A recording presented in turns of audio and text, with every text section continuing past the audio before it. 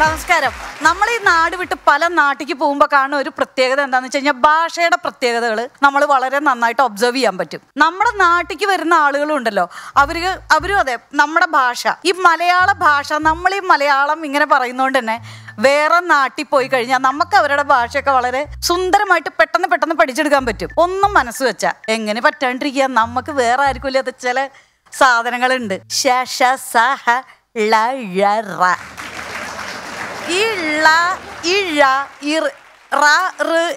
ഇതെല്ലാം കൂടെ കൺഫ്യൂഷനാ പിന്നെ ന ഇതൊക്കെ ഇതൊക്കെ മലയാളിയുടെ സ്വന്തം ഐറ്റംസ് ആണ്. അപ്പൊ ഇത് നമ്മൾ ഈ നാവ് വിളച്ച് പറയണോണ്ട് നമുക്കെല്ലാം പറയാൻ പറ്റും. അതേസമയം അവിടുത്തുകാരൻ ഒരാൾ മലയാ കേരളത്തിൽ ഇങ്ങോട്ട് വന്നു കഴിഞ്ഞാൽ അവൻ ആകെ ആവേശഭരിതനായി. ചേച്ചി എനിക്ക് മലയാളം അറിയാം. ഓ വെരി ഗുഡ് എനിക്ക് മലയാളം അറിയാം അറിയാം എന്ന് പറയും. ഇവൻ കൂടുതൽ അരിഞ്ഞിടുന്നതിന് പകരം കുറച്ചും കൂടെ കൂടുതൽ അവൻ അറിയിച്ച് പറയും ചേച്ചി ഊണ് കളിച്ചോ? എന്ന് ചോദിക്കും. അതാണ് ചോദ്യം. പേടിക്കൊന്നും വേണ്ട. അവരാകെ ചോദിച്ചിട്ടുള്ളത് ഭക്ഷണം കഴിച്ചോ ഊണ് കഴിച്ചോ എന്നാണ് കഥാപാത്രം ചോദിക്കുന്നത്. ഇതേ സംഭവം നിങ്ങളൊന്ന് തിരിച്ചിട്ട് നോക്കിയേ. നമുക്ക് ഈ ഭാഷയൊക്കെ കുറച്ച് അങ്ങോട്ട് പറയാൻ പറ്റിച്ച. നമ്മളിപ്പോ ഒരു തമിഴ്നാട്ടുകാരനെ കണ്ട് കേരളത്തിൽ തന്നെ ആയിക്കോട്ടെ അയാളുടെ അടുത്ത് ചോദിക്കുക സാപ്പിട്ടിങ്ങളാ എന്ന് ചോദിച്ചാൽ അയാൾക്കൊരു കുളിര. ഞാൻ ചോദിച്ചതുകൊണ്ടല്ല അയാളുടെ മാതൃഭാഷയിൽ നമ്മൾ അയാളോട് ചോദിക്കാണ് ഭക്ഷണം കഴിച്ചു എന്ന് ഒരു സന്തോഷല്ലേ? എന്റെ ഒരു സീനിയർ ഉണ്ടായിരുന്നു തൃശ്ശൂരുകാരനാ. അപ്പം ബാംഗ്ലൂർ ജോലി കിട്ടി പോയി. അപ്പൊ ചുളം പറഞ്ഞു രാഷ്ട്രഭാഷ ഹിന്ദി പഠിച്ചതിന്റെ പാടണം എനിക്ക് പറഞ്ഞാൽ തിന്നല. ഇനിയിപ്പോ ഈ മ- കന്നഡ പഠിക്കാൻ എന്നെ കൊണ്ട് പറ്റൂലടാ. കന്നഡ പഠിക്കുന്നില്ല എന്ന് പറഞ്ഞു. ഏയ് ഇവന് കർണാടക കർണാടക ബാംഗ്ലൂരിൽ ജോലി. നീ എങ്ങനെടാ ജീവിച്ചു പോവാ? അപ്പൊ ഇവൻ പറഞ്ഞു "അ, പിന്നെ ഇപ്പൊ ഈ റഷ്യയിലും ജർമ്മനിയിലും ഒക്കെ പോയി വന്നിട്ടുള്ള മനുഷ്യന്മാർ ഇവരൊക്കെ ആ ഭാഷ പഠിച്ചിട്ടാണ്. എനിക്ക് നല്ല ഒന്നാം തരം വേറെ സാധനം ഉണ്ട് ഏപ്പട്ടിയും പോണ സാധനം. എന്തത്? ആംഗ്യ ഭാഷ. ഞാൻ ഇങ്ങനെ ഇങ്ങനെയൊക്കെ കാട്ടിയിട്ട് ഞാൻ അങ്ങോട്ട് ജീവിക്കും. ഓഹോ അത് ശരിയാ. യൂണിവേഴ്സൽ ലാംഗ്വേജാ അത്രേ ഉള്ളൂ. കുഴപ്പമില്ല. എന്നാ ശരി. അങ്ങനെ ഈ കഥാപാത്രം ഇവന് കുറച്ച് വൃത്തി കൂടുതലിന്റെ ഒരു അസ്കിതയുണ്ട് അപ്പോൾ അത് ക്ലീൻ അല്ല ഇത് ക്ലീൻ അല്ല ഇങ്ങനത്തെ ഒരു ചെറിയ പ്രശ്നം. അപ്പോൾ ഈ ബാംഗ്ലൂരിൽ ചെന്ന് ഈ ജോലിയൊക്കെ കിട്ടിയ കാലത്ത് അന്ത കാലത്ത് നമ്മൾ ഈ ബാച്ചിലേഴ്സ് ജീവിക്കുക എങ്ങനെയാന്ന് വെച്ചാൽ ഒരു നാലഞ്ച് ബാച്ചിലേഴ്സ് കൂടെ ഒരു വീട്ടിൽ ഇതാണ് സെറ്റപ്പ് അടിച്ചു വരി തുടങ്ങാൻ ഏതെങ്കിലും ഒരു ചേച്ചീനെ ഏർപ്പാടാക്കി ഉണ്ടാവും ഹൗസ് ഓണർ ആരെങ്കിലും ഇവർ താക്കോൽ എടുക്കും വരും ക്ലീൻ ആക്കും. ഇവന് സ്ഥിരം പരാതി. എന്റെ കട്ടിന്റെ ചോട്ടിൽ ക്ലീൻ ആയിട്ടില്ലേട്ടാ എന്നിട്ട് എന്തിട്ടടാ? പൊടിയടാ പൊടിയടാ. അവനെ നീ എങ്ങനെയും അത് പറഞ്ഞൊന്ന് ശരിയാക്കിക്ക്. എങ്ങനെ? നോക്കിയിട്ട് സംഭവം ക്ലീൻ ആവില്ല ദൈവം സഹായിച്ചു ഇവൻ ഒരു ദിവസം നല്ല പനി. പനി വെച്ചാ ഖുഷിയായി. ആഫീസ് പോണ്ട. അവിടെ കിടന്നു. ഇവൻ കട്ടിൽ ഇങ്ങനെ ഇരിക്കുമ്പോൾ നമ്മുടെ അക്ക വാതിലും തുറന്ന് കയറി വന്നു. പിന്നെ ആ ഇന്ന് ഇവരുടെ പണി നോക്കണം വെച്ചിട്ട് ഇവൻ മാരക സൂപ്പർവിഷൻ അക്കേനെ അങ്ങനെ നോക്കണു ഇങ്ങനെ നോക്കണു നോട്ടത്തോട് നോട്ടം. അക്കയ്ക്കാണെങ്കിൽ ഇത് അത്രയ്ക്ക് അങ്ങോട്ട് ഇങ്ങോട്ട് പിടിക്കണില്ല. കാരണം സാധാരണ വന്ന ആളൊഴിഞ്ഞ വീട്ടിൽ വൃത്തിയാക്കി പോണതാണല്ലോ. ഇതിവിടെ ഒരുത്തൻ കട്ടുമ്പോ ഇരുന്നിട്ട് ഇത് നോക്കണു. കുറെ കഴിഞ്ഞ് ഇവൻ പ്രതീക്ഷിച്ചമാര് തന്നെ ഇവന്റെ കട്ടിന്റെ ചോട്ടിൽ വിചാരിച്ച പോലെ വൃത്തിയായിട്ടില്ലേന്ന് അവൻ അവിടെ ഇരുന്നിട്ട് ഒരൊറ്റ വിളിയാ. അക്ക അപ്പൊ ആകെ നമുക്ക് അറിയുള്ളൂ. ആംഗ്യ ഭാഷയിൽ അതേ അറിയുള്ളൂ. ബാക്കി കന്നഡയിൽ ഒന്നും ഇവന് പറയാറിയില്ല. അക്കയ്ക്ക് ഈ പറഞ്ഞ ഇംഗ്ലീഷും മലയാളവും തമിഴും ഒന്നും അറിയൂല ഇവിടെ ഇരുന്നിട്ട് പറഞ്ഞു. അക്ക കണ്ടു വിളിച്ചു.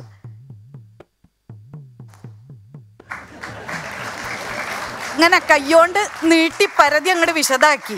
ക്ലീനിങ് ആണെന്നുള്ള അർത്ഥത്തിൽ ചുള്ള ഇങ്ങനെ കാണിച്ചപ്പോ കിടക്കയിലെ ചുളിവുകളൊക്കെ അങ്ങോട്ട് നിവർന്നു. കിടക്ക നല്ല വൃത്തിയായി. ഇവൻ പിന്നെയും ഇവിടെ അങ്ങനെ ഇരിക്കുക. അതോടുകൂടി നമ്മുടെ അക്ക അവിടെ നിന്നിട്ട് വാതിലും പിടിച്ചിട്ട് അങ്ങനെ ഒന്ന് നോക്കി അക്കടം ഭാവമൊക്കെ ഒന്ന് മാറി. അതിൽ ഐ അക്ക ഇങ്ങോട്ട് വരൂ എന്നുള്ള നിലയ്ക്ക് ഇവൻ ഇത് എന്റെ ബെഡ് താഴെ സ്വീപ്പിംഗ് പിന്നെയും സ്വീപ്പിംഗ് ഏത് ബെഡ്.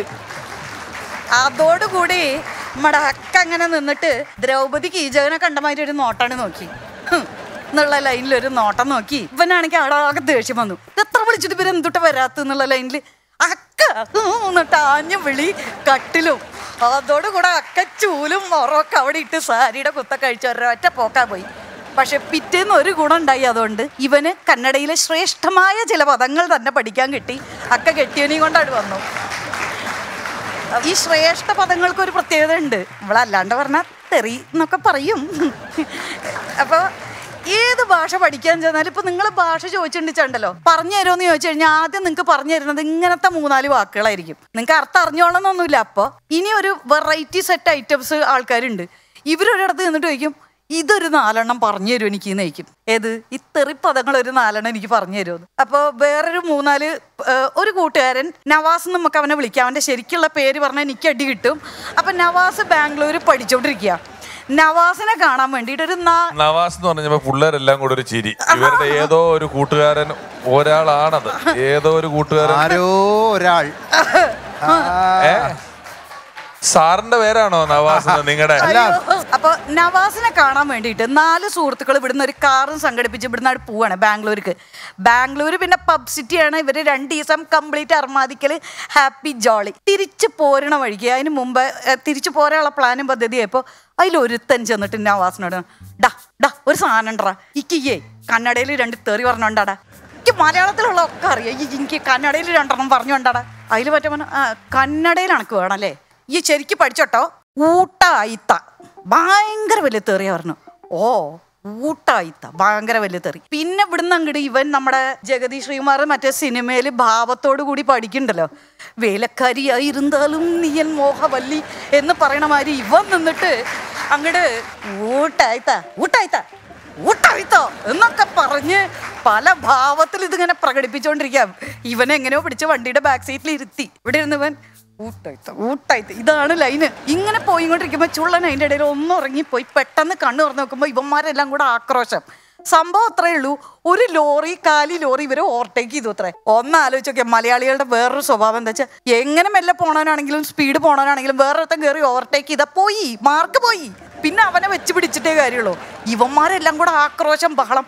വെട്ടിക്കട പിടിക്കട മറിക്കട എന്നൊക്കെ പറഞ്ഞു ബഹളം. അങ്ങനെ ഇതിങ്ങനെ ഈ ലോറീനെ അങ്ങനെ ഓവർടേക്ക് ചെയ്തുകൊണ്ടിരിക്കുക അതിൽ എന്റെ ഈ സുഹൃത്ത് അവൻ പിന്നെന്ന് അവൻ ഈ ജനലിന്റെ ചില്ലൊക്കെ എടുത്ത് താഴ്ത്തി ലോറി ഡ്രൈവറെ നോക്കിയിട്ട്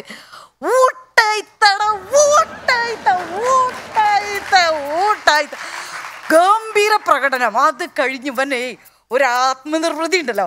നാലെണ്ണം പറഞ്ഞിക്ക് എന്ന് പറഞ്ഞിട്ട് അവിടെ സീറ്റിലാണ്ടിരുന്നു. ഞാൻ നാലെണ്ണം പറഞ്ഞിക്ക് ഏ തന്നെ. പിന്നെ നാലെണ്ണം പറഞ്ഞു. ഇനി ജമ്മുണ്ടെങ്കിൽ അവൻ ഒരാൾ ഓവർടേക്ക് ചെയ്യില്ല അമ്മാതിരി പറഞ്ഞിക്ക് അവരിങ്ങനെ നോക്കിക്കൊണ്ടിരുന്ന് ഇങ്ങനെ നോക്കിയിട്ട് എന്നുള്ള ലൈനിലേക്ക് പോയി കൂട്ടുകാർ എന്താടാ? എന്താ എനിക്ക്? ഇപ്പൊ എന്തേ പറഞ്ഞ്? ഞാൻ എന്താ പറഞ്ഞതെന്ന് എനിക്കറിയില്ല. ഞാൻ നല്ല ചീത്ത വിളിച്ചോരെ തന്നെ? ആ നല്ല ചീത്ത വിളിച്ചിട്ടുണ്ട്. എന്നാ ഒരു മോനെ ഈ ഒരു ചീത്തയും വിളിച്ചില്ല. ഈ ഓരോട് പറഞ്ഞത് ഊട്ടായിത്ത ഊണ് കഴിച്ചോന്നാണ് ഈ ചോദിച്ചത് എന്ന്. വേറെ ചിലരുണ്ട്. ഇവർ ഈ കന്നഡ അവിടെ ചെന്ന് കഴിഞ്ഞിട്ട് ചെയ്യണ പണി എന്താ അറിയോ? ഒരു സെന്റൻസ് കന്നഡയിൽ പഠിച്ചു വെക്കും. എന്താ അറിയോ കന്നഡ കൊത്തില്ല. അന്ന് പറഞ്ഞ പോലെ. കന്നഡ എനിക്കറിയില്ല. ഇത് വെച്ചിട്ട് ഒരുത്തനത് അവിടെ ഈ പബ് സിറ്റി ആയതുകൊണ്ട് അത്യാവശ്യം സ്പിരിറ്റഡ് ആയിട്ടൊക്കെ ഇരിക്കാനുള്ള ഒരു സെറ്റപ്പ് ഉണ്ട്. അങ്ങനെ ഒരു ഒരു ഗ്രൂപ്പ് അവിടെ ഇരുന്ന് അത്യാവശ്യം കഴിച്ചുകൊണ്ടിരിക്കുന്നു പോലീസുകാരൻ വരുന്നു. അവർ പറഞ്ഞു പെട്ടെന്ന് കഴിക്കാൻ പറ്റില്ല എഴുന്നേറ്റ് പോ. അതിൽ ഇവർ ആ ഓ. രണ്ടാമത് ഇയാൾ വന്നപ്പോൾ ഈ ഗ്യാങ് നീറ്റിട്ടില്ല നല്ല ചീത്തയാണ് പറഞ്ഞു. അതിൽ ഇവൻ മാത്രം നീറ്റെന്ന് സർ കണ്ടാണ്ട ഗൊത്തില്ല. നല്ല സ്പിരിറ്റിലിരിക്കുക പിന്നെ അത് കഴിഞ്ഞ് കഴിഞ്ഞ് ഇയാൾ തിരിച്ചു വന്നപ്പോഴും ഇവൻ ഇതേ ലൈന് എന്ത് പറഞ്ഞാലും പറയും സർ കന്നഡ ഗൊത്തില്ല സർ ഇതന്നെ. മൂന്നാമത് വന്നിട്ട് ഇയാൾ ഇത് പറഞ്ഞ കന്നഡ ഗൊത്തില്ല എന്ന് പറയാൻ വന്നപ്പോഴത്തേക്ക് ഈ കൂട്ടുകാർ ഇവന്റെ വായൊക്കെ പൊത്തിപ്പിടിച്ച് വലിച്ച് അവിടെ ഇരുത്തിയിട്ട് പറഞ്ഞു അതിനിടെ കുരിശിയ അയാൾ കന്നഡയല്ല പറയണ അയാൾ മലയാളമാണ് പറയണത്? എന്ന് പറഞ്ഞു. ഇപ്പൊ ഇതൊക്കെ കേൾക്കുമ്പോ നിങ്ങൾക്ക് തോന്നുന്നുണ്ടാവും ഇവർ എന്താ മറ്റുള്ളവരുടെ കാര്യം മാത്രമേ പറ്റുള്ളൂ ഇങ്ങക്കൊന്നും പറ്റിയില്ലേ? പറ്റി എനിക്കും പറ്റിയ അബദ്ധം. ഞാൻ വീട്ടിൽ നിൽക്കുമ്പോണ്ടാ റോട്ടിൽ കൂടെ ഭയങ്കര ബഹളം. എന്തുണ്ടായിച്ചിട്ട് പോയി ഒക്കെ കേൾക്കുമ്പോ ഒന്നും കാണാനില്ല. എന്തപ്പം ഉണ്ടായി?